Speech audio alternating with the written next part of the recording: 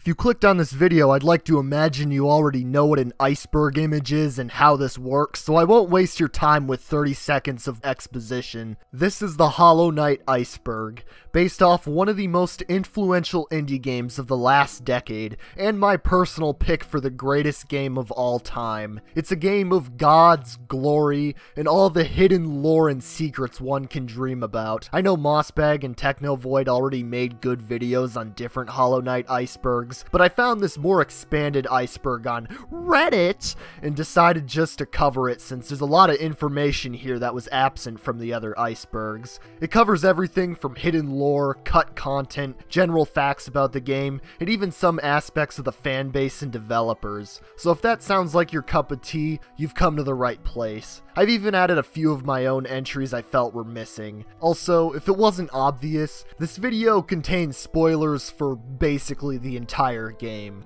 Now, without further delay, let's dive into the Hollow Knight iceberg.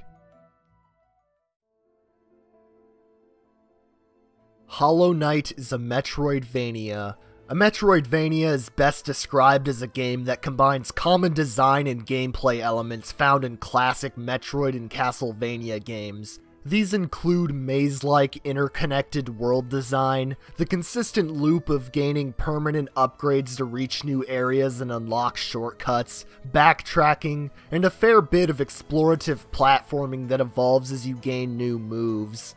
Metroidvanias have become exceptionally popular due to the success of flagship titles like Super Metroid and Castlevania Symphony of the Night, and especially in recent years thanks to the genre's prevalence in the indie game scene. Anyone who's played Hollow Knight can recognize that this game fits the description of Metroidvania to a T. Hornet lines. Many characters in Hollow Knight have voice acting that just amounts to gibberish. Hornet's voice lines are some of the most well known in the game, with classics such as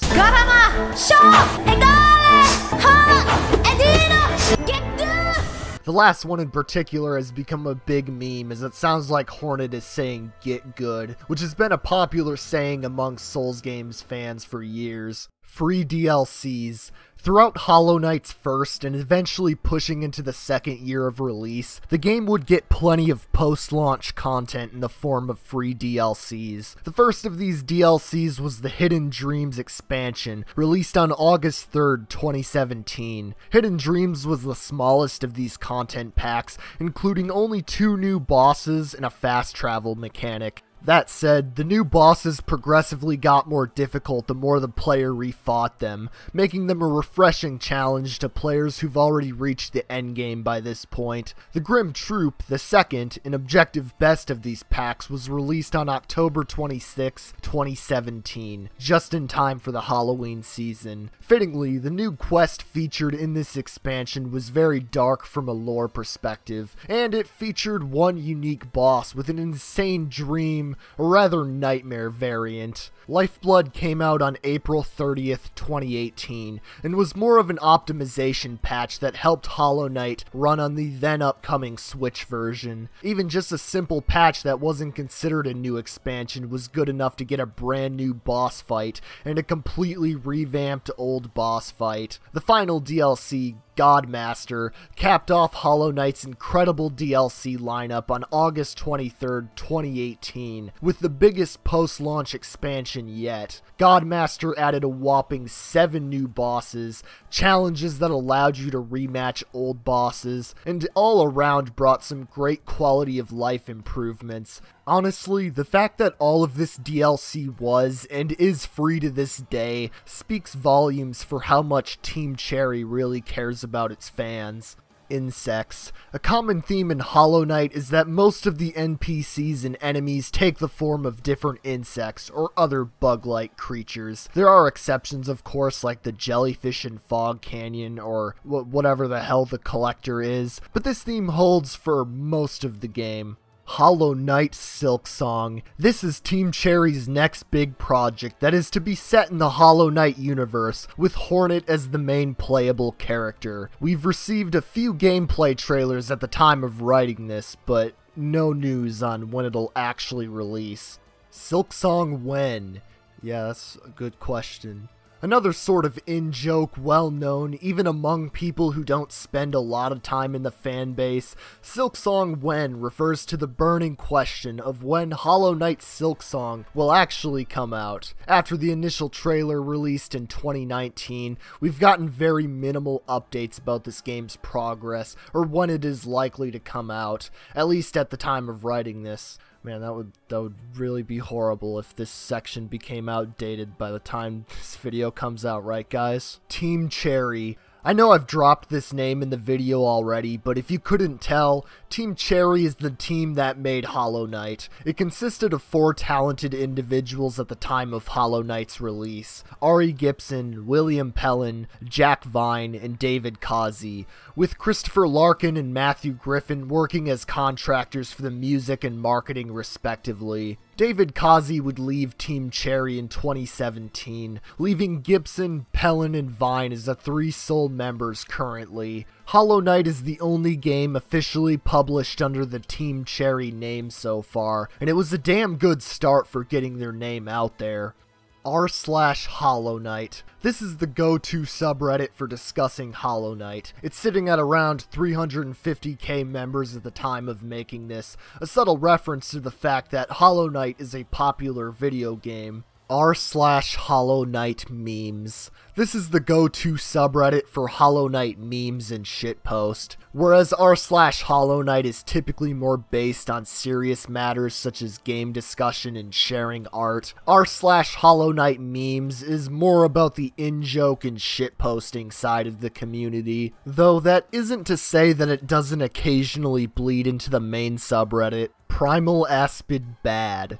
Speaking of in-jokes, one Hollow Knight opinion that unifies every race, religion, nationality, political stance, etc. is the fact that Primal Aspids are annoying bastards to fight. It's not a super complex enemy to fight as it's basically just a bee that shoots in three directions, but the way a lot of these things are placed in dangerous areas, as well as their ability to catch you off guard with their projectiles range and spread, makes them a nuisance in many people's eyes. It's such a big meme that I've seen several pieces of fan art depicting a primal aspid based boss that people claim would be the hardest boss in the game. Mossbag. Mossbag is a popular Hollow Knight content creator known both for his memes and analysis videos revolving around the story of Hollow Knight. If you're interested in Hollow Knight, you're probably already very familiar with him, so there's not too much to say other than he makes good ass content explaining the lore of the game pogo jumping. This is an unofficially named yet universally adopted tactic where the player nail slashes in order to bounce off enemies and certain hazards. It's not all that difficult to do with most enemies and is even encouraged at many points throughout the game. This technique was clearly named after Scrooge McDuck's pogo jump in the DuckTales games and it's just a fun mechanic and Every game with a melee weapon is now required to have this. Bapanada. Every time you enter Iselda's shop and interact with her, you are greeted with the most beautiful of sounds. Bapanada. People have joked about how there's apparently some hidden meaning in this voice line, but spoilers, it's just cute and people like it. Pantheon of Hallownest. The final expansion of Hollow Knight, Godmaster, contains several pantheons which serve as segmented boss rushes that the player must overcome to witness all the content that the expansion has to offer. The pantheon of Hallownest is different, however, in that it contains the strongest variant of every boss in the game. You have plenty of opportunities to heal in between fights, but one loss sends you all the way back to the beginning. The endurance test of fighting every boss culminating in the final showdown with the Absolute Radiance, arguably the hardest boss in the game, makes it easy to see why many people consider this to be the hardest challenge in the game. No wonder only 3% have the achievement on Steam. Though here's the tip if you're struggling with this Pantheon. You can actually fight the Absolute Radiance in the Hall of Gods after you initially reach it in the Pantheon. That way you can go practice the fight to your heart's content before you throw 40 minutes down the drain for another go. I gave this guy a good 15 practice runs before attempting the Pantheon again, and got him first try once I did, so I'd say it's a pretty helpful tip. And if you happen to die to him, your controller is right there. Hornet is not void. The theory that Hornet is void grew to become a hotly debated topic in the early days of Hollow Knight speculation, to the point where the concept of this theory just became a meme. It might seem believable if you're new to Hollow Knight's lore, as Hornet and the Knight look kinda similar and wear a similar mask but there's strong evidence to suggest that Hornet's relation to the Pale King doesn't mean she's made of void, such as how she treats the Knight as an otherworldly being, as opposed to something she understands, or other specific bits of dialogue that suggest the contrary. And if you don't want to even get that far into it, Hornet's very conception from the Pale King and Herrah the Beast, as opposed to being conceived from the Pale King and the White Lady like all the other vessels, builds a strong case that Hornet is not like the vessels, i.e., she's not made of void. I won't dive too far into this as it's its own mini rabbit hole, and Funny Man Mossbag made a good video that goes into depth with this theory. Who knows though? This is all just theory, and maybe Silksong will make everyone eat their words by proving Hornet is 100% void when you finally get the secret ending for killing Primal Radiance. Christopher Larkin. As previously mentioned, Christopher Larkin is responsible for Hollow Knight's soundtrack. He's pretty good. Path of Pain. This is a secret area that was added in the Grimm Troupe expansion that you can reach via breakable wall in the White Palace. It's a really hard platforming buzzsaw hellfuck nightmare that rewards you with a little bit of vague lore upon completion. Something tells me only masochists thought this was worth it. The Delicate Flower Quest.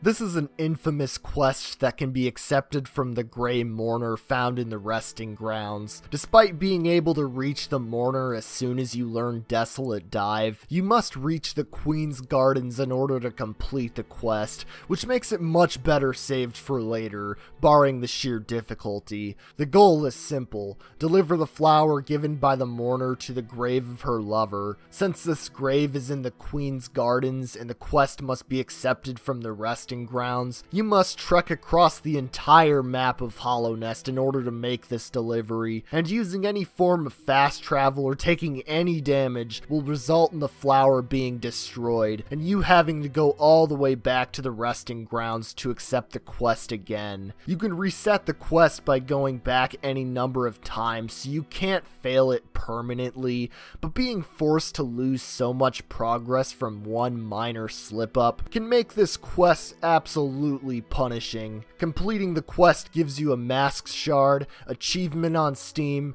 and a precious loss of sanity you'll never recover. Millibelle is a thief. Millibelle is a merchant NPC found in Fog Canyon near the Queen Station. She provides a banking service to where you could store Geo for a small fee. This seems like it'd be a harmless mechanic for players who don't want to lose their savings in an upcoming difficult area, but don't let this bitch fool you. Giving Millibelle enough Geo causes her to run off with all of your money the next time you try to visit her standard location. This comes as a shock to many new players as they've effectively been trolled by Team Cherry, but don't worry, you can go to the pleasure house in the City of Tears and give her a good smacking. Marissa. Marissa is the spirit of a butterfly who was once a songstress for the City of Tears. She doesn't do a whole lot in-game besides briefly explain her past and plays a song for the player if they stop to listen, but it's kind of just a hidden sweet yet sad moment of the Knight giving her an audience she hasn't seen in so long. Mr. Mushroom. This is a strange NPC that can be found in a manner of different locations throughout Hallownest. He speaks pure gibberish until you equip the Spore Shroom charm, in which he speaks more gibberish but in English this time. Strangely enough, he always seems to be conversing with some unknown being, in which it's never really hinted at who or what he could be talking to. Speaking with him at each location will cause him to move to another until you finally confirm confront him at King's Pass, and he acknowledges the player following him. Finishing the game normally after this encounter rewards the player with a secret cutscene. Colosseum of Fools. This is an optional challenge that can be found at the edge of Hallownest that consists of three different enemy gauntlets that reward you with Geo upon completing each one. Some enemies here can't be found anywhere else in the game, so you'll need to persevere if you want to finish the Hunter's Journal. Interestingly enough, the Hunter's Journal actually explains these enemies' exclusivity, in that those who run the Colosseum specifically breed these creatures to give challengers stronger variants of enemies that can be found in the wild. Oh yeah, th- that's Lord Fool on the throne. The guy who initially watched these matches.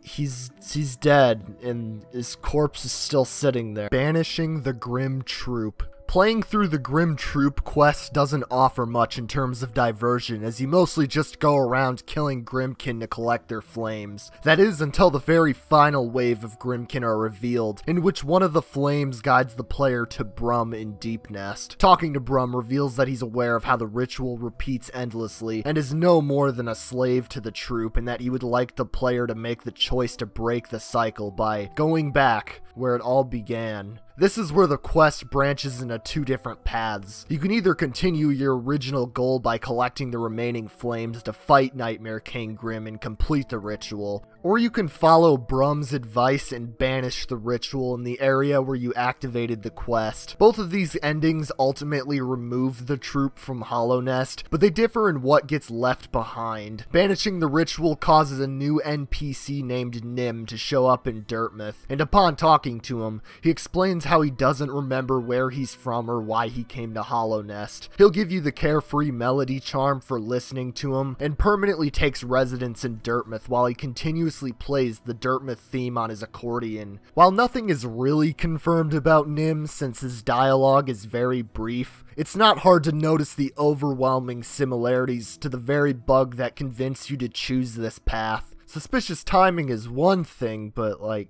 come on guys. Mender bug. If you destroy the sign at the entrance of Forgotten Crossroads, there's a 2% chance every time you enter the room that the Mender bug will be fixing the sign you destroyed. He flies away almost instantly when noticing you, but entering with a desolate dive or timing the swing of your nail just as you approach the ground will kill him, and rewards you with a secret entry in the Hunter's Journal. Killing the Mender bug also gives you access to his house, which is found in the area where you initially meet Sly. Here you can find the Menderbug's diary. His entries mention how he enjoys his life of fixing signs, and how he notices the sign at the entrance always being destroyed, yet he treasures the opportunity to fix it each time. He also mentions a bug by the name of Menderberry, who he likes and wants to spend his life with.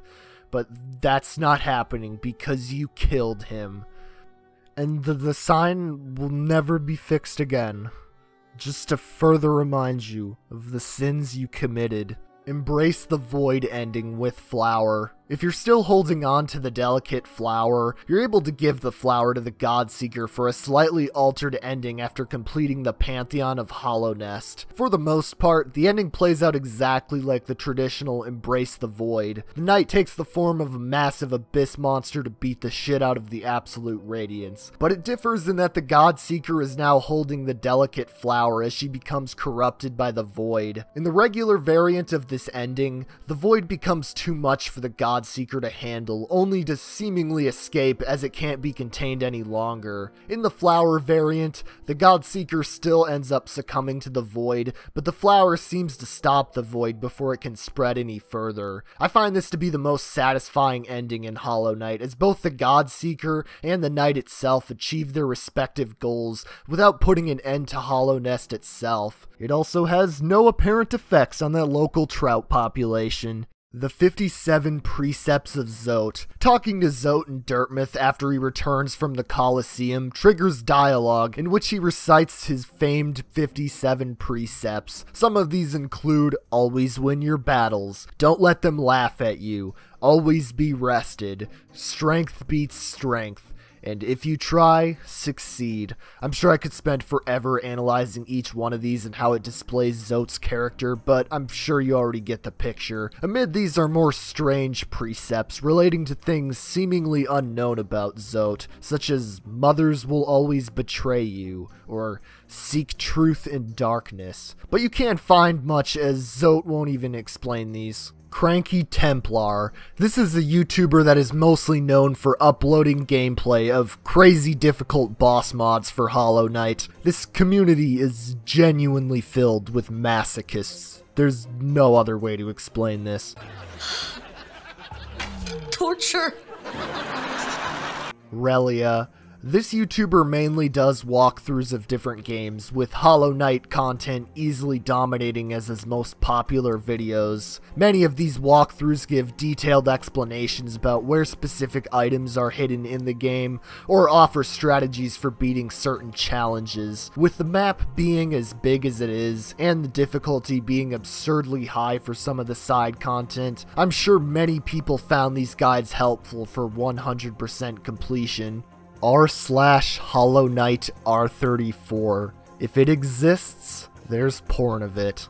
The famed universal Rule 34 of the internet, especially so on Reddit. Like, god, god, god damn it. Charm combos. Certain combinations of equipable charms can lead to interesting effects. For example, Fluke Nest normally causes your Vengeful Spirit spell to summon a bunch of damaging flukes, but adding the Defender's Crest on top of that summons a giant exploding fluke that leaves lingering gas, or how using Fury of the Fallen with unbreakable strength and Grubberfly's Elegy turns your shockwaves red to represent the massive increase in damage. There are loads of unique combos like this, and it really makes experimenting with different charms a lot more rewarding Rusty, a YouTuber that started making videos on dark secrets in video games, Rusty now primarily focuses on Soulsborne and Hollow Knight content. His Hollow Knight boss rankings in particular garnered a lot of attention, though that isn't to say his other stuff doesn't pull in respectable audience. Fireborn, a Hollow Knight speedrunner and YouTuber in a similar vein to Cranky Templar, except he does different insane shit that falls under the speedrun slash challenge run categories. Interestingly enough, he would start his channel by uploading classical music over a decade ago. He'd upload his first Hollow Knight speedrun only a couple months after the game's initial release, and well, the rest is history parry attack. While not an explicitly explained mechanic in-game, you're actually able to parry any attack followed by a white trailing with your standard nail swing. This gives you a split second of invulnerability and can even land an extra hit on the enemy if positioned right. It's not required to complete any challenges in this game, but it provides for some great ear candy hollowknight.fandom.com. Now, as Rule 35 states, if it exists, there's a wiki for it. Almost any information about this game you could want could be found on the wiki, and it really helped me making this video, by the way, so thanks, guys. Silksong was supposed to be DLC, the reward for one of Hollow Knight's Kickstarter goals was adding a second playable character into the game. Upon being reached, Team Cherry announced a planned DLC campaign that featured playable Hornet, who was previously a boss slash NPC in the base game. Time went on without a word of this campaign, but on February 14th, 2019, they revealed they had so many new ideas that they just decided to make a full-fledged sequel instead. The Eternal Ordeal. This is a secret challenge accessed through a hidden breakable barrier in the Hall of Gods that's about killing as many Zoticious creatures as possible as they spawn in endless waves. Killing 57 enemies in one run, likely alluding to Zote's 57 precepts, unlocks a new main menu with an incredible new menu theme.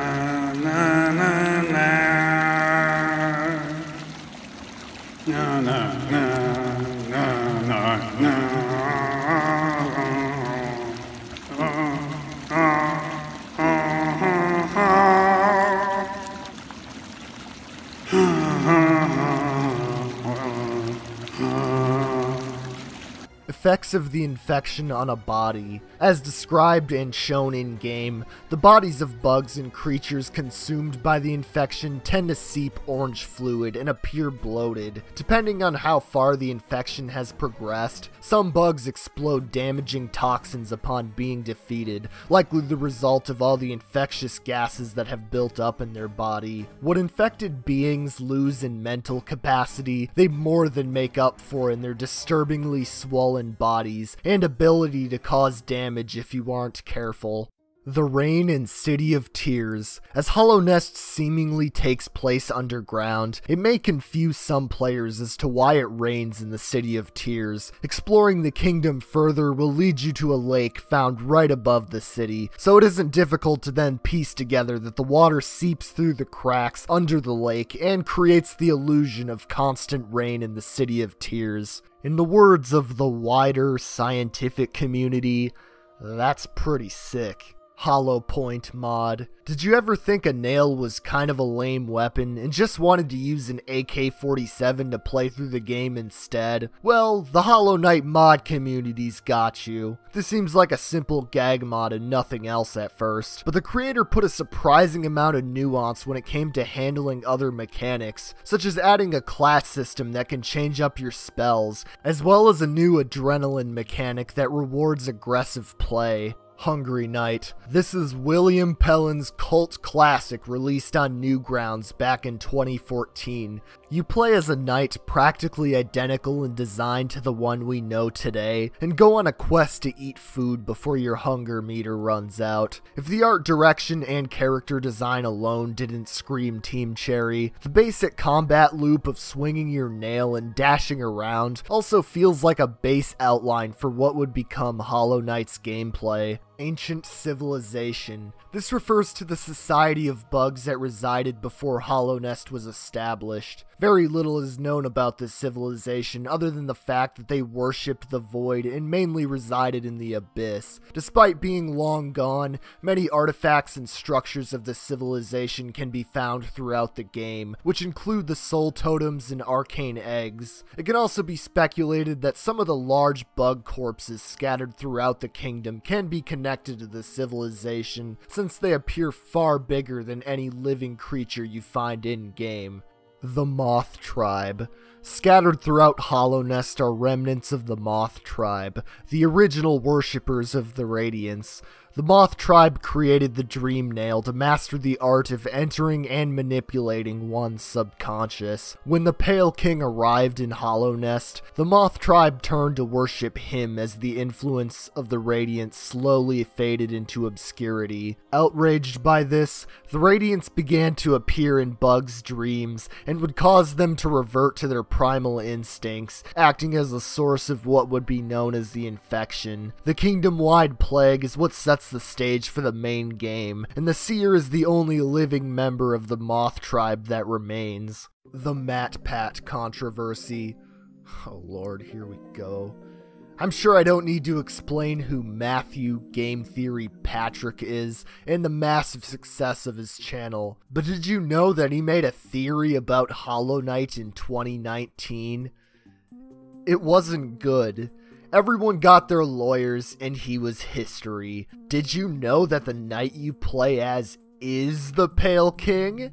Matt, MatPat said it, not me even though basically every line of code in the game pokes holes all over this idea, and he blatantly ignores so much evidence that proves him wrong. Of course, with the video getting a lot of attention because it's game theory, Mossbag made a good 40 minute debunking of it. Overall, a lot of comments on MatPat's video were just people clowning on him, and the theory in general is just seen as a big joke for how much crucial evidence it ignores. Even just looking at the top comments, it's pretty easy to see that this is one of MatPat's least popular theories. What Grubfather truly does with the grubs. When the player returns all of the captured grubs to the Grubfather, Grubfather can be found in the center of his room with all of the grubs in his stomach. Upon first glance, you may feel regret for rescuing all the grubs and think he's a monster that eats his own children. But reading the item description for the Grubberfly's elegy reveals that this is all part of a process for the grubs to move on to the next phase of their lives, so they'll probably turn into butterflies or some other frightening insect.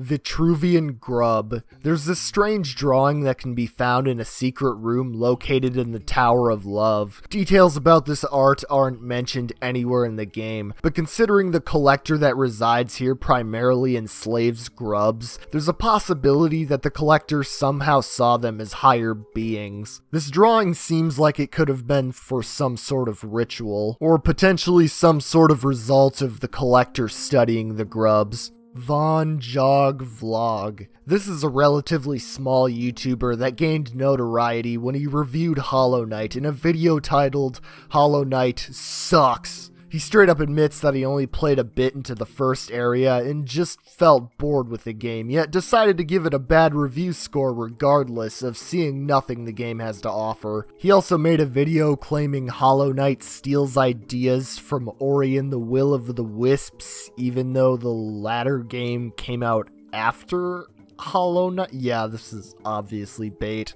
Divine eats Leg Eater, using Divine to upgrade all of your fragile charms, and then returning to Leg Eater in the fungal wastes. With at least one of these upgraded charms equipped, causes him to notice the smell on the charm and leave his camp in search of the source. Returning to Divine's tent so long as the Grimm Troupe is still present in Dirtmouth, you can find Leg Eater's claws lying on the ground. She ate him and enjoyed it a lot, but considering this is how Mantis's mate, I guess this is what he wanted. Keith Redacted. I make Hollow Knight videos that are kind of like guides that. Oops, never mind, there goes a shit post. Keith. Abyss Creature in the room containing the Lifeblood core charm and behind the blue door in Godhome. If you look into the background, you can catch a glimpse of a giant black beast with several blue eyes. The beast never leaves the background or does anything, and you can't interact with it in any meaningful way. All that's known is that it's called Abyss Creature in the game's files. Anonymous Shade. She is an indie game enthusiast that gained decent notoriety for her Hollow Knight shitposts on YouTube. She doesn't really have a set style of content, more so she just does whatever and talks about the things she finds interesting, which I gotta respect and also relate. Have you seen the last time I uploaded? Monstaller a Hollow Knight speedrunner since 2017 who does runs under many different categories. Similarly to Fireborn, Monstaller started speedrunning only a few months after Hollow Knight's release and continues to run the game to this day. Willow's Secret Willow is an NPC found at the Queen Station, eating fungi from the ceiling. She doesn't do all that much throughout the game and just seems like a sweet character, until you get the Monarch wings and jump up to the area she eats from. This reveals a hidden platform with a corpse that reads, Please, not food when dream nailed. Using the dream nail on Willow herself shows that she's thinking about eating the Knight, but compares it to how bland the other bugs taste. Additionally, I found a comment that mentioned how the Stag Station sign right before this room could be used to lure unsuspecting bugs into her camp. While this sign could have just been there coincidentally, as the station had multiple stagways in the kingdom's prime, the thought of Willow specifically choosing an area with a sign still pointing to it adds a whole darker layer to the lengths she'll go to catch prey. Hollow Knight's influence on Ori and the Will of the Wisps. With the release of Ori and the Will of the Wisps, Many people have speculated whether specific mechanics in that game were a result of taking inspiration from Hollow Knight. Players noticed similarities in the charm equipping mechanics present in both games, healing that expends a resource and leaves you vulnerable, similar to that of Hollow Knight, and in general, a more combat heavy focus in the gameplay. Though a lot of these comparisons were clear as day, it's important to note that many of these general concepts existed long before Hollow Knight, with that game alone citing numerous sources of inspiration. The question is rather, did Ori take these ideas because Hollow Knight did them, or did it just take inspiration from similar sources as Hollow Knight? Moon Studios director Thomas Mahler went on record stating that he in fact didn't take any ideas from Hollow Knight, but that they were directly inspired from other sources. Wanderer's Journal. Named after an item found in game, this book came out alongside Hollow Knight's physical release and details the chronicles of a character named Elena as she explores the remnants of Hallownest. Authors Kari Fry and Ryan Novak worked closely with Team Cherry to ensure the lore remained faithful to the game. That said, they took the liberty to add a few new details that further explore Hollow Knight's lore. Nothing I could see being crucial to a future game's plot, but a nice supplementary side story for those interested in Hallownest.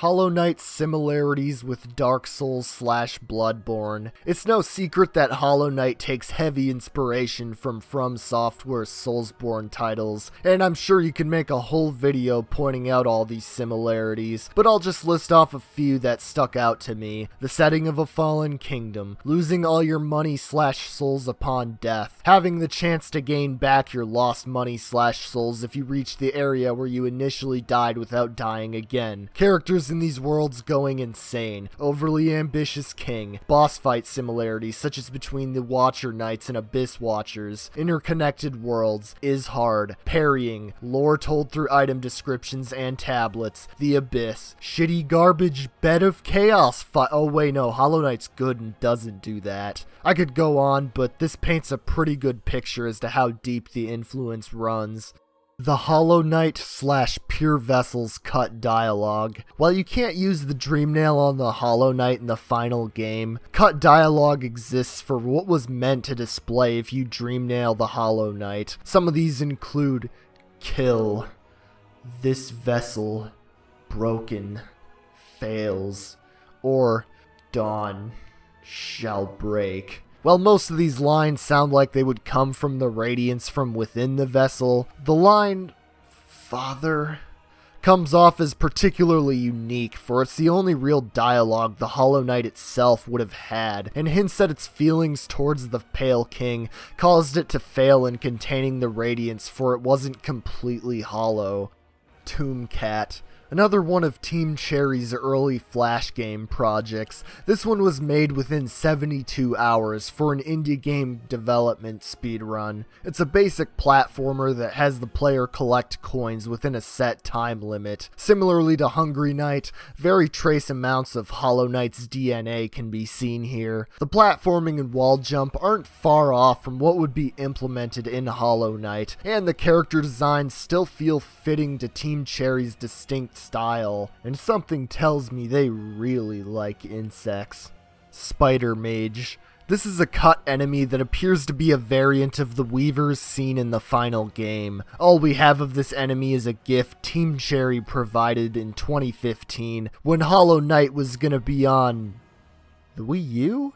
Astaroth. And here we have another Hollow Knight content creator with no real pattern to their content. Glitches, secrets, specific charm combo showcases, memes, telling us how to deal with our own problems, and so on.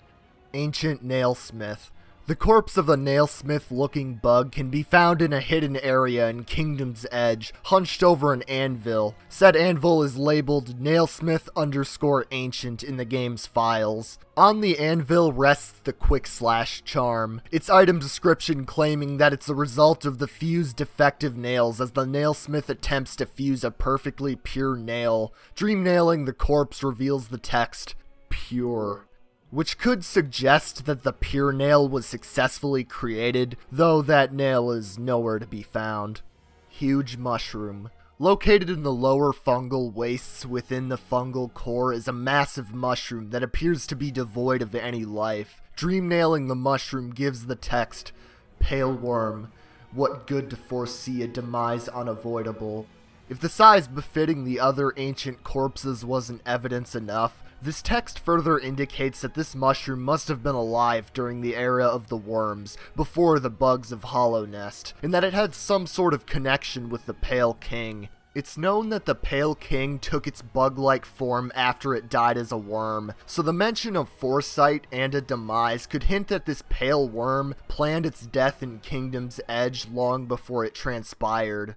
Fungal Waste's locked door. There's a large door located in the upper right hand corner of the Fungal Wastes area map that takes the player to the lift that ascends into the Forgotten Crossroads, or at least it would take the player to the lift if it were actually possible to open. Even after receiving many updates and expansions since release, Team Cherry never gave us a key or any method of opening this potential shortcut, it could have been meant to just be a decoration to get players' hopes up, but I can't help but feel the perfect placement in between two distant areas meant that they had plans to use the door but may have forgot about it or just scrapped the idea. Either way, it sticks out like a sore thumb compared to every other environmental detail in the game, and it's a curious case as to why it served no purpose.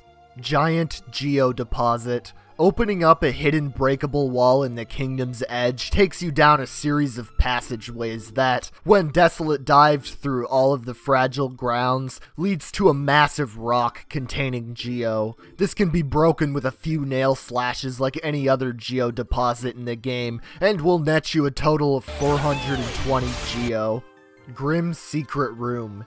If you pass the arena where you first fight Grimm, double jumping in the center of the second arch in the following hallway reveals a hidden vertical passage that takes you to a hidden room at the top of the tent. You won't find anything of interest here, and there isn't any known Dreamnail dialogue that gives you any context to this place. It's definitely bizarre seeing all the lifeless masks in the background, and the unclear purpose of this room only adds to the strangeness. Does this imply that the Grimm Grimmkin cheering in the background are just puppets, and that they're somehow being manipulated to act like they're alive? Are these just masks pried off of Grimmkin that were killed for not obeying Grimm? Or maybe it's just Grimm's dressing room, I don't know.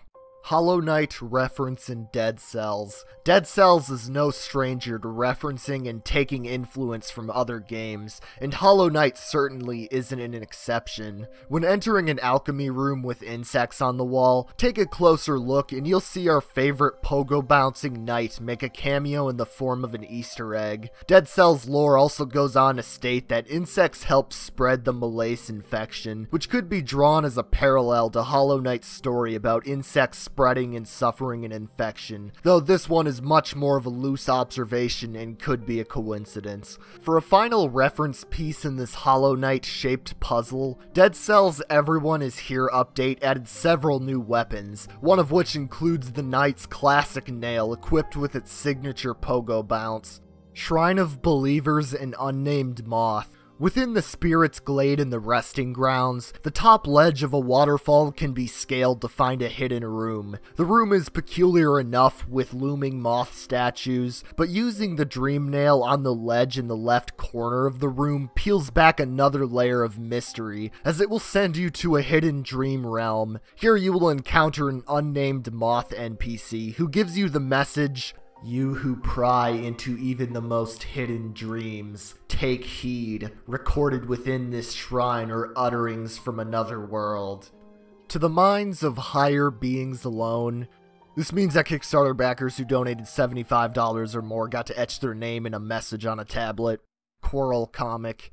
This was a short comic released alongside Hollow Knight that serves as a prequel to the game's events by briefly outlining Quarrel's journey to Hallownest before the player would canonically start their journey. Upon pondering the reasons of what draws him to this lost kingdom, he befriends a character never seen in-game named Boone, who provides food and a place to rest for the adventurous Quarrel. The comic ends with Quarrel encountering Hornet in a short clash before scaling the cliffs and seeing the dead kingdom ahead, in the same spot the knight stands in the opening cinematic of Hollow Knight. Despite being labeled as a first chapter, no other chapters of this comic have been released at the time of writing this.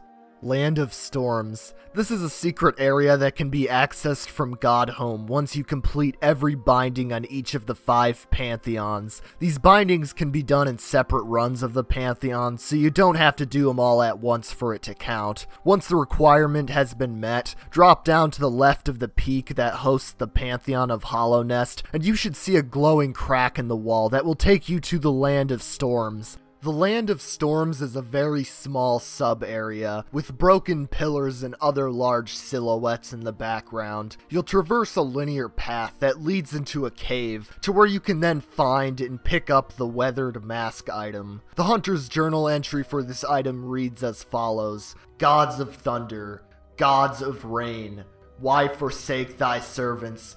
Will our minds be left suffering, to ache alone? What god remains to deliver us from this woeful silence? Lament of the God Seekers.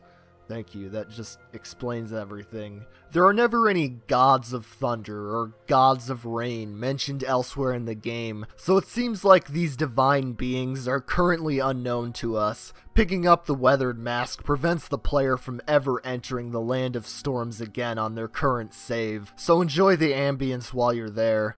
Team Cherry's AMA on Reddit or more accurately, Team Cherry's AMAs, as they hosted one in 2017 on r slash gaming and the other in 2018 on r slash Nintendo Switch, following the Nintendo Switch release of the game. I'll leave the links to both of these down in the description, but I'll summarize some of the key points and interesting takeaways. The first AMA revealed that Team Cherry adored the simple yet tricky nature of the Primal Aspid, and actually planned a boss fight based on the enemy. They also expressed interest in a boss rush mode, which would go on to take the form of the Pantheons in the Godmaster update. Someone also suggested that all three Mantis Lords should attack the player at once, which aged hilariously well considering how little notoriety this comment got. Other bits of trivia dropped were the possibility of a Zelda playing a bigger role, though this still hasn't happened. The inspiration for Mr. Mushroom being how empty Cornifer's spot and fungal wastes looked after he left, and the fact that Myla could potentially have a happy ending if the player chooses not to kill her. The 2018 discussion largely focused on this game's Switch port development and plans Team Cherry had for the future, but also had an interesting bit of trivia relating to plans for the Forest of Bones area that was cut from the final game. Dark Blade Spy, We've already seen that shit posters are everywhere in the Hollow Knight community, so why not add another one? Darkblade Spy is a very small YouTube channel that features all the short-length Hollow Knight meme edits you can dream of. The videos are very loud and deep-fried, so don't say I didn't warn you.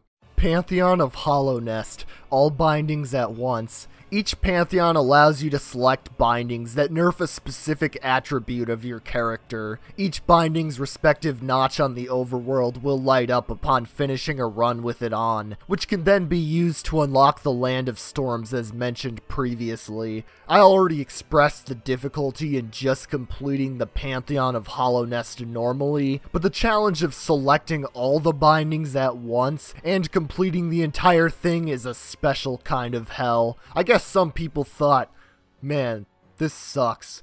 I just feel like I have too much health. I do too much damage, gotta cut that down. These charms are really annoying. Let's just not use any of them. And stockpiling soul is useless. Just allow a teensy eensy bit. Good job, guys.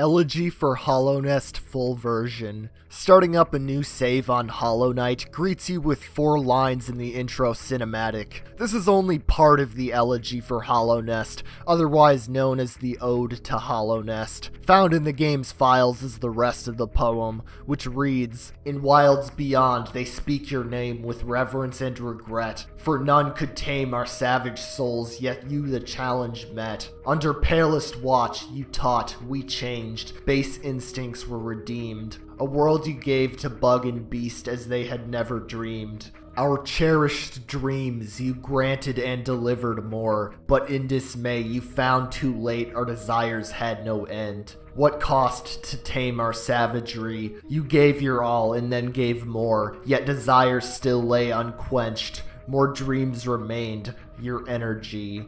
Amongst it spread a dreadful scourge that forced return our aggressive urge and turned us back to beasts or husks, our souls consumed to the light above. Within your corpse can still be heard the plaintive cries of one who took our pain and loss and dreams inside itself too. Through its pain, we found the truth that must now be confessed, for nothing can contain such things but perfect emptiness.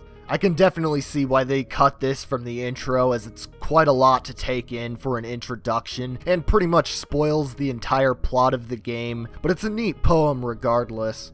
Metroid references. Being one of the primary inspirations for this game, it makes sense that Hollow Knight pays homage to the granddaddy of its genre. One of the fallen corpses in Fog Canyon reads, Drained when dream nailed, which is potentially a nod to Samus's power armor draining when taking damage. Speaking of Fog Canyon, similarities can be drawn between the appearance of the various jellyfish enemies and that of the Metroid. The Uumuu boss fight even required its gelatinous shell to be smashed with a projectile, which aligns with the Metroid's resilience to weaker projectiles. Lastly, the fossil that holds the Shade Cloak upgrade is posed very similarly to the iconic Chozo statues. I'm sure there may be more subtle references I'm missing, but these were the major ones I could find.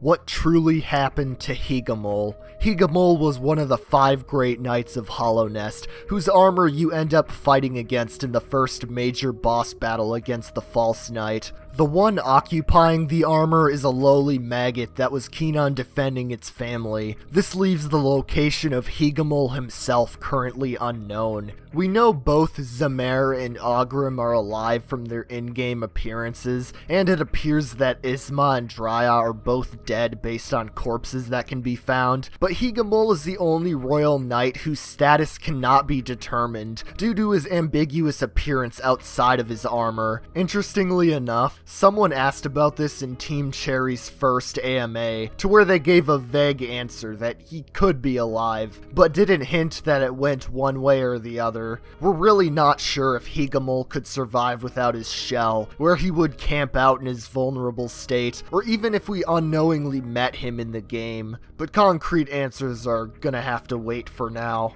Gruzmother Room statues. Hollow Knight's 2014 gameplay demonstration showcases the familiar Gruzmother boss fight in a slightly different arena. In the background are statues of the Pale King, the White Lady, and a third undiscernibly broken statue, which could have been the Hollow Knight based on early sketches. These statues were replaced with a generic King's idol that can be seen in the Gruzmother's arena in the final game. Esme. Initially meeting Sly while he's dazed garners some peculiar dialogue that reads, Ah, Oro, you oaf. You wield your nail like a club. Esme, how much deeper do we have to go? It's later revealed that Oro is one of the three Nail Masters that Sly trained, but the name Esme never comes up again. Some theorize that this could be a secret fourth Nail Master that explains the garments on this corpse training dummy outside of Oro's hut, why Esme apparently disappeared, and why Sly or the Nail Masters never elaborate on Esme further is unknown. Forgotten Crossroads beta map. The layout of Forgotten Crossroads seen in the beta build is similar to what we got in the final game, but features a few key differences outside of the fine-tuned details in how the paths and rooms are shaped. Namely, the Vengefly King fight initially took place in this area as opposed to Green Path in the final game. Even earlier builds of the game show hoppers and charged Luma flies being encountered in the area, both of which are absent from the crossroads in the final game. Stizzle. This guy makes YouTube videos relating to Hollow Knight and is also working on a Hollow Knight fan expansion called The Sanctuary. There's no release date for this project, but it looks promising and he's currently looking for those experienced in Hollow Knight modding slash programming, so feel free to contact him if you're interested. This video is not sponsored by Stizzle, by the way. Green Path was bigger. In Hollow Knight's A Weird and Wonderful World trailer, green path looking areas with heavy foliage can be seen containing enemies that are only found in the final game's fungal waste area. This, in addition to the mushroom areas in this trailer, all sharing a similar shade of green to the supposed Green Path area, indicates that Green Path and Fungal Wastes could have been one big area at this point in development. Poggy Thorax. This is a spirit NPC that can be found in a secret room located in the City of Tears Pleasure House. His dialogue reads, Skroink, you look pretty skinny, very scrawny. That's the way to be, I reckon. Just look at me, a great big, juicy, fatty, oily, scrumptious bug. No wonder I'm so popular around here. I've been waiting an awfully long while. Surely it's dinner time soon? This pride held in being fat alongside the corpses littering the room potentially hints that he may have been a cannibal, and said corpses are all the bugs he planned to eat. Why he's dead now is unknown, but something tells me he may have got salmonella.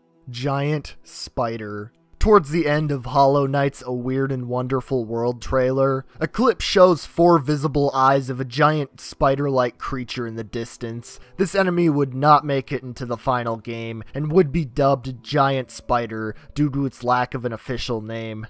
Blundering Obelisk. This was a centipede-like enemy that never made it into the final game. All we really know about the Blundering Obelisk comes from a snippet of its gameplay that can be seen in Hollow Knight's A Weird and Wonderful World trailer, and a short description from the Kickstarter, indicating that charging would be its exclusive form of attack.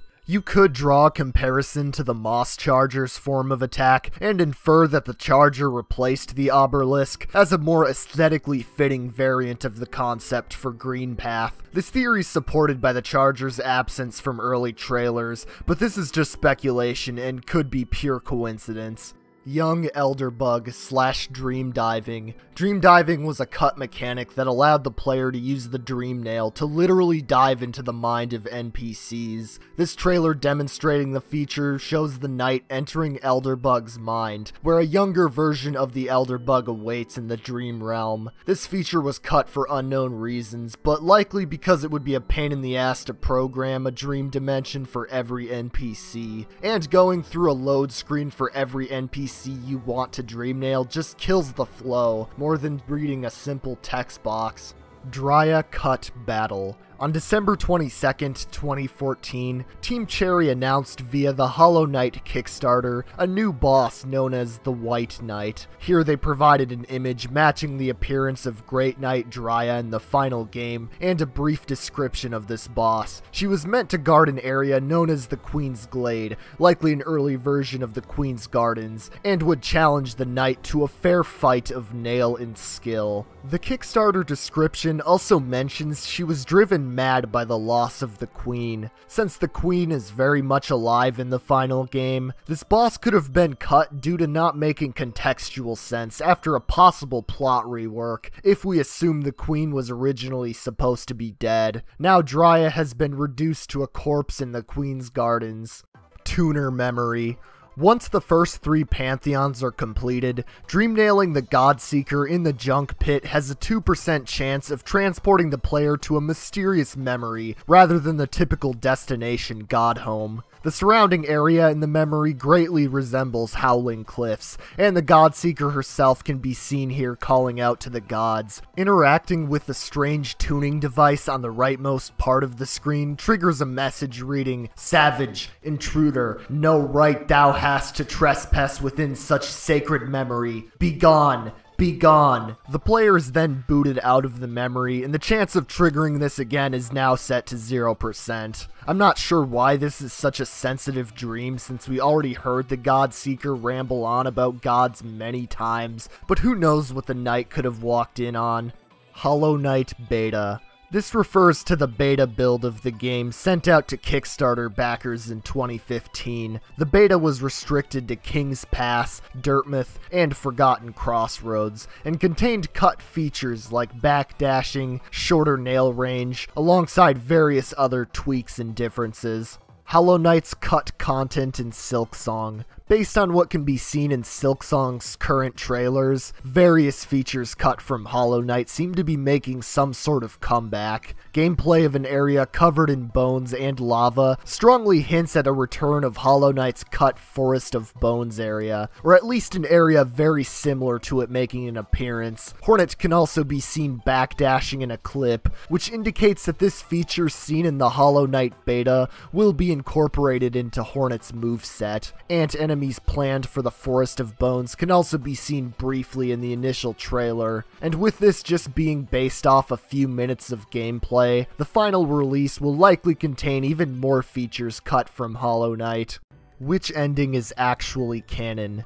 When regarding a game with multiple endings, fans are quick to speculate which ending is most intended to be experienced, or which ending is considered canon according to the game's universe. Team Cherry themselves stated that every ending in Hollow Knight was equally canon in their 2017 AMA. It's worth noting that this equally canon stance was taken before they planned to make a full-fledged sequel to Hollow Knight, so this opinion may have changed to connect the sequel to the original game, assuming Silksong isn't chronologically a prequel. If you ask me, Embrace the Void makes the most sense in this context because A, it requires the most work from the player and thus feels like a more complete ending, and B, the very end shows Hornet about to face some unidentified being, which could be seen as a sort of teaser to Hornet's story. Either way, devs overrule all that is canon, and the last time they spoke about endings, they said any were canon.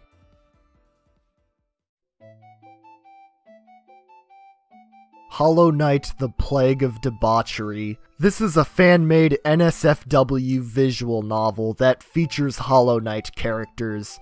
The fact that I'm not even fazed by this anymore is very concerning. Anyway, the most exposure I found this game getting was through Anonymous Shade streaming it two years ago. So watch that if you want the spicy bug stuff a Weird and Wonderful World trailer. This two minute trailer, released in 2014, showcased a wide variety of areas and enemies that would be encountered throughout the game. With this being a very early build of the game, I've already cited this trailer in reference to several cut features that could be seen here. Battle of the Black Worm. This is an event that is only brought up in White Defender's Hunter's Journal entry, and is barely touched upon even here. We can assume this must have been a major battle and involved the Five Great Knights, due to Ogrim's recollection of it. No other concrete information about the battle can be found.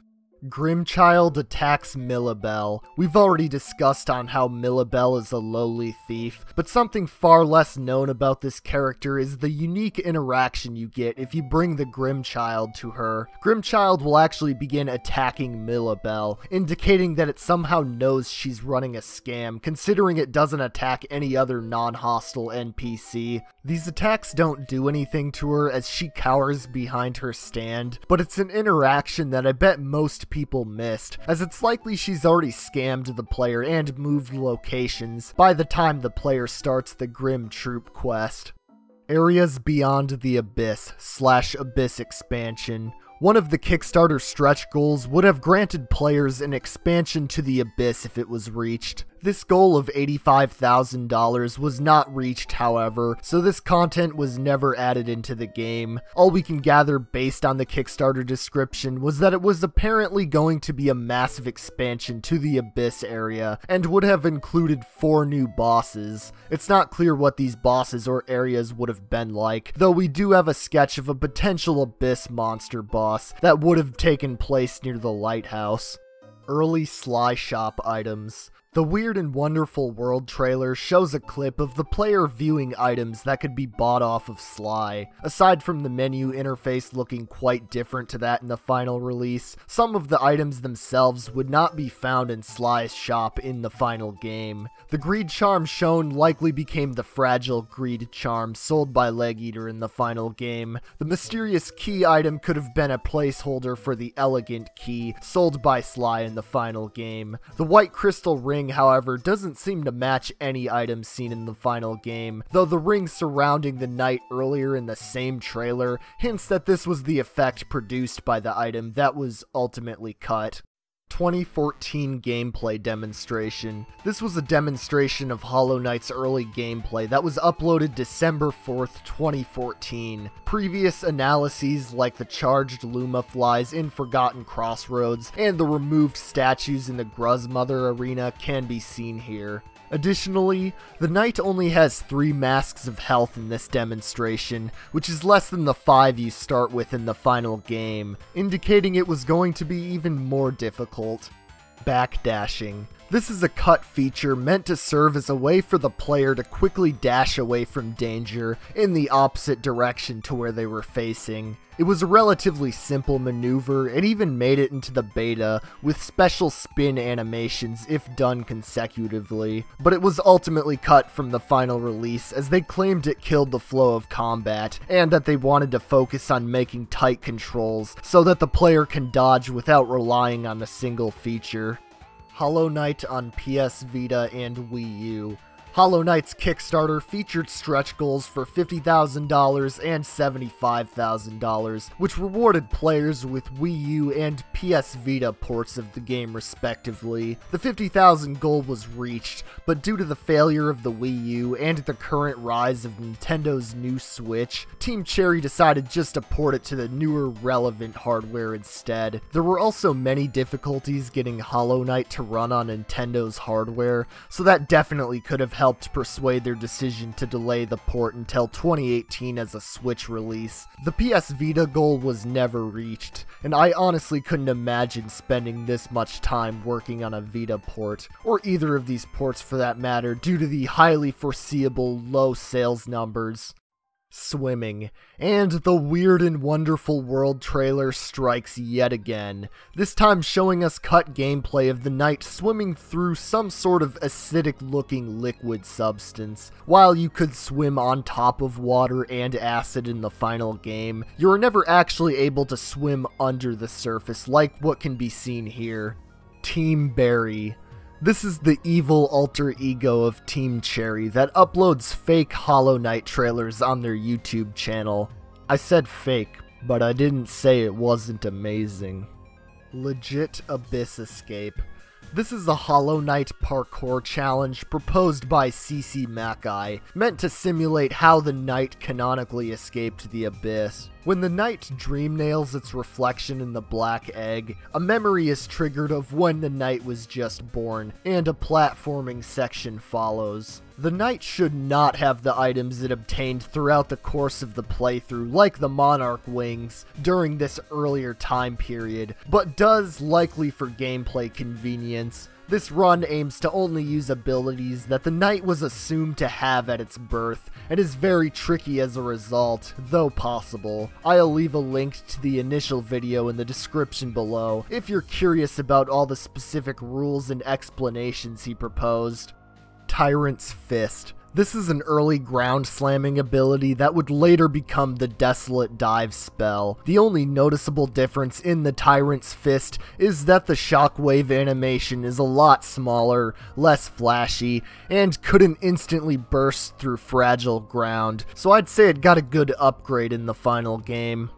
Zote's daddy issues. The 52nd precept of Zote reads as follows Beware the jealousy of fathers. Fathers believe that because they created us, we must serve them and never exceed their capabilities. If you wish to forge your own path, you must vanquish your father or simply abandon him. Make of that what you will.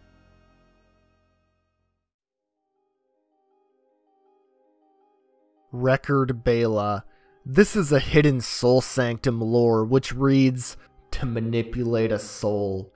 Reformation of the mind must first occur. Few can bear such change. The path to true progress is littered with mistakes. It's not so much the lore itself that's interesting, as opposed to players' inability to even find the damn tablet. We only seem to know about Record Bela because of the game's files, as no one has been able to pinpoint where or if the tablet is physically located in the game.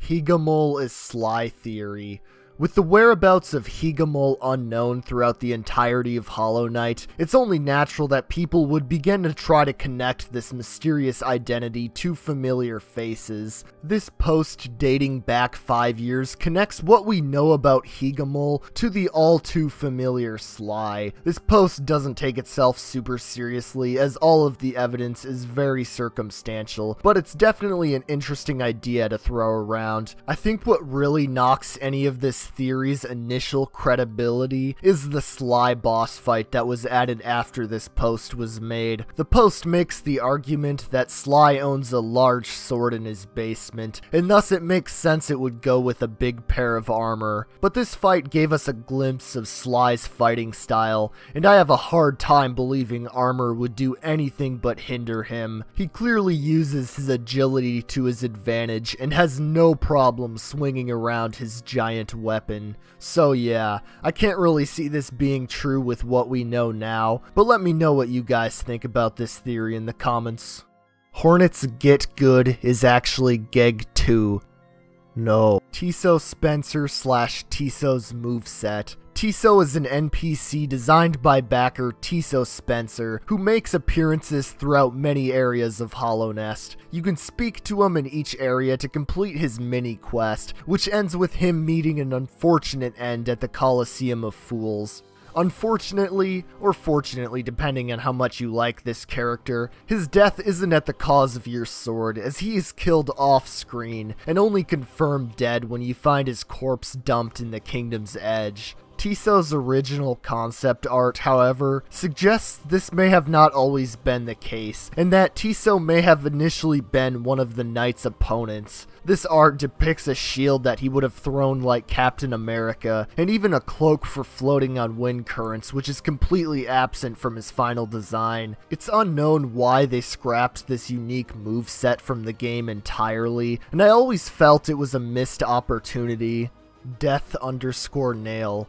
Your last chance to speak with Quirrell after completing his quest will be when he's resting at Blue Lake. He'll tell you he was glad he got to experience the sight of Hallownest once again, and that he finally feels at peace knowing that his duty to his master has been completed, sending the knight off with a final remark of fascination and admiration to the knight. Leaving the screen and returning only shows his nail planted where he once rested. The fate of Quirrell can be widely debated whether this bit of farewell meant he would accept death after this moment, or if he simply decided to give up adventuring and live out the rest of his days in peace. But one strong piece of evidence supporting the former theory is that the nail planted at the lake is named Quirrell underscore death underscore nail. Even if file names are just early placeholders, I find it intriguing that it wasn't named something more basic like lake underscore nail, or even just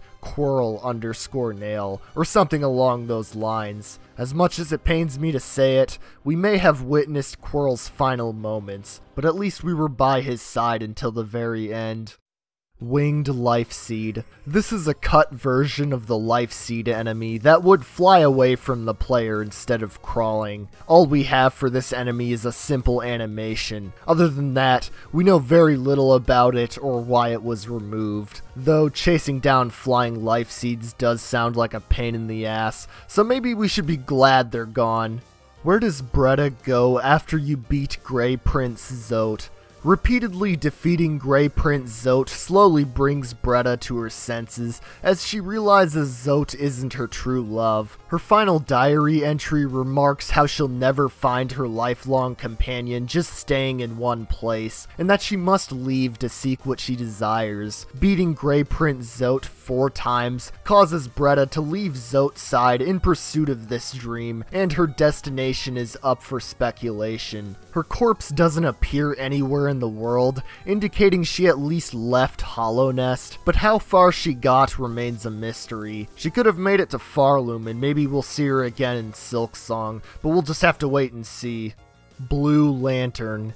This refers to an unused sprite depicting a, well, blue lantern. It's simply known as the Witch's Eye, and it's not clear whether this was an early version of the final game's Lumafly lantern, meant to illuminate dark areas, or if it served a more sinister purpose based on the name. Maximum geo capacity. The maximum geo capacity is 9,999,999.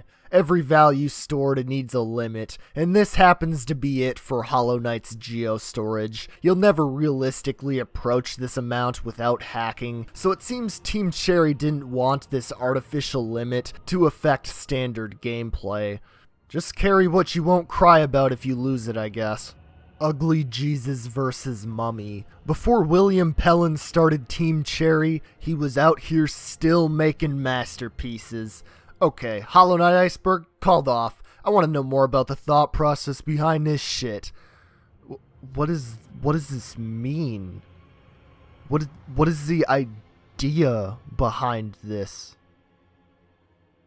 Is this Silksong 2 gameplay? The other locations besides Hallownest and Pharloom, with Hallownest being the location Hollow Knight takes place in, and Pharloom being the setting for the upcoming Silksong, we have only vague ideas of what locations lie outside of these two kingdoms. It's possible that the Land of Storms could lie outside the bounds of these kingdoms, but your guesses for anything else are as good as mine. The mentions of outsiders that visit Hallownest suggests that there may be other bug civilizations that exist outside the bounds of these kingdoms. Perhaps some resemble Hallownest back in its prime. Dirtmouth Fly NPC. Two images that were never deliberately made public depict a fly NPC bearing strong resemblance to a Gruzzer that is never seen in the final game. Both images are set in Dirtmouth, suggesting this would be where the NPC resided, but little else is known about this character.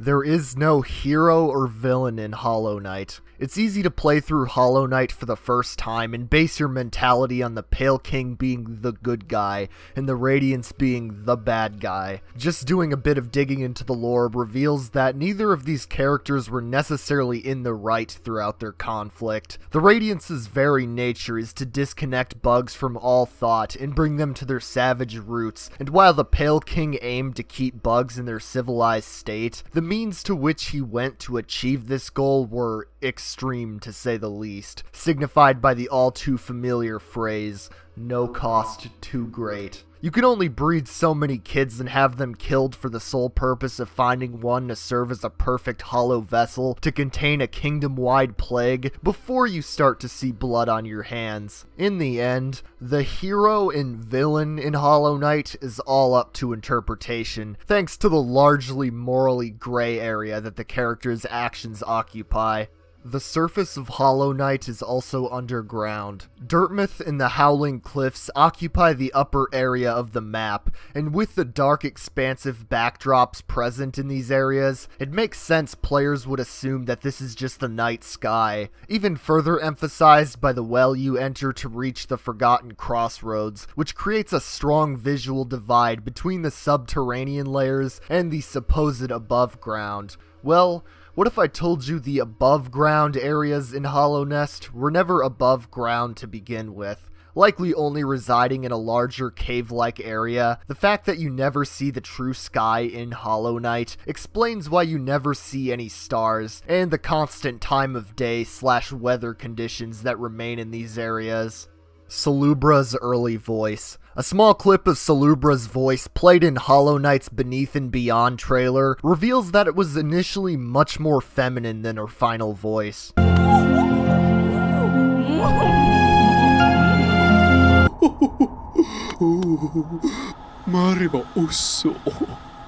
Generic underscore charm. Many unused charm sprites exist in the game's files that are simply given generic underscore charm as a name placeholder. A lot of these may have just been design concepts and not had an actual purpose yet, hence why they aren't named more specifically. Developer notes in the files. This one is pretty self-explanatory. All of these notes that were found in the files are listed on the wiki, and there's many interesting tidbits of consideration when Team Cherry was designing the world, such as the idea that time would never be referred to on a specific level to reinforce the static state of the world, or how certain words would be avoided in dialogue to keep the illusion of the world alive. Other notes explain key plot points and lore relating to characters within the game cut minor dialogues. Various cut dialogues exist for multiple NPCs. A whole list of these can be found in the cut content section on the wiki, and there's too many to fully share here, but I'll highlight some of the more interesting ones. Cloth says, Wow, I want to be brave too. I'll save you later on, then die. You saved me. You're so strong and brave. I can't wait to die later on. White Lady says, Two halves of a whole, you found your way back to me? We were so unfair, weren't we? To cast you out. Please, you must not hate him. He did what he thought was right. The kingdom had to live. Pure Vessel says, Do not think. Do not speak. Do not hope. Do not. Pale King says, False one, you cannot reach me here. As you can see, there's quite a lot here that gives slightly different perspectives on some of these characters from the final game. Grey City of Tears. A gif of the City of Tears can be found on Hollow Knight's Kickstarter page that appears far more grayed out compared to the area in the final game. In general, I feel like a lot of the early Hollow Knight areas appeared more dull in color scheme, so it makes sense that the City of Tears blue palette came into being because every other area got more vibrant colors. And I personally think the blue was a nice choice for keeping the area dreary while giving it a distinct visual identity. Unused unknown item. I really couldn't find anything specific about this entry due to the vagueness of it, but I feel it speaks for itself. I imagine this was data for an item found in the game's files that had no explicit purpose assigned to it. I couldn't find any sprites or specific proof of this item's existence though, so please let me know if I missed something.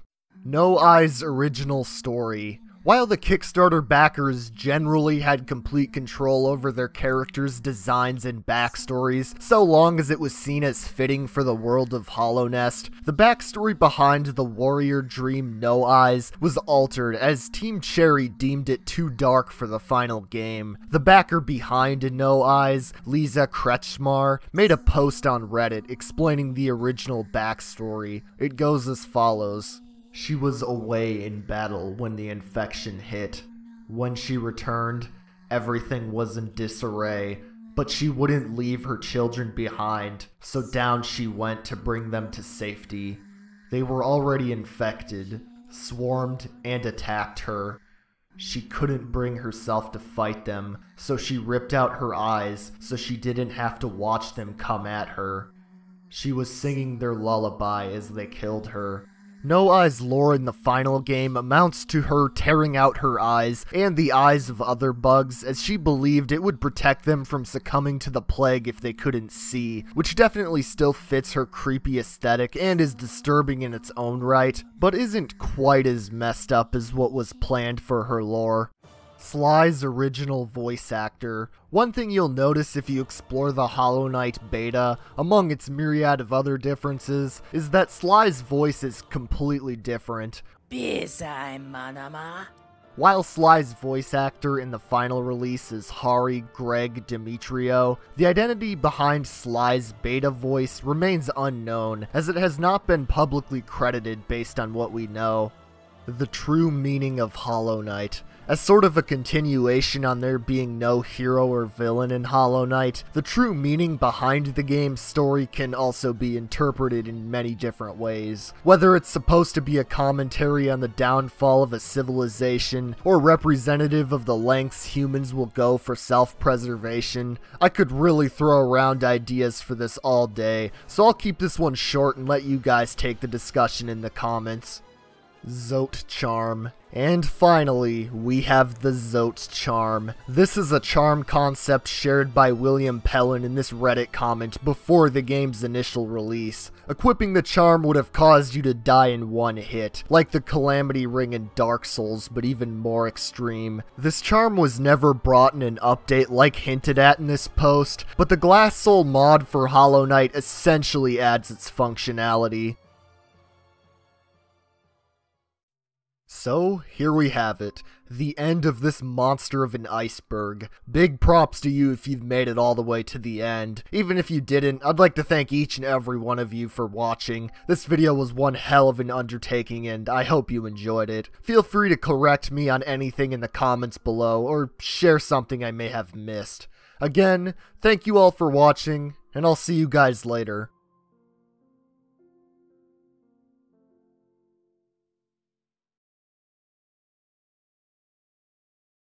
Hollow Knight could have had a Miiverse community.